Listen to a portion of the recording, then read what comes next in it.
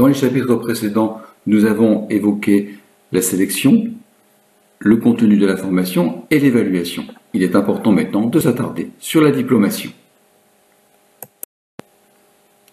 Concernant la diplomation, il est important de noter que la fin de la formation aboutit à un diplôme d'état d'aide-soignant reconnu et attendu dans les services de soins, dans les différentes structures médico-sociales et sanitaires. Nous avons parlé précédemment de l'évaluation de la formation. À ce jour, malheureusement, nous sommes dans l'impossibilité de vous communiquer des informations précises sur la diplomation.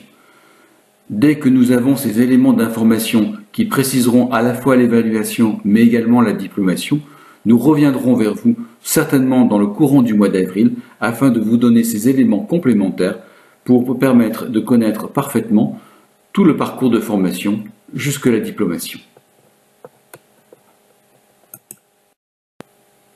Nous vous remercions de l'attention que vous avez portée à notre Institut de formation aide-soignant. Nous serons contents de pouvoir vous y accueillir, vous accompagner pour permettre le développement de votre projet professionnel. Donc, à très bientôt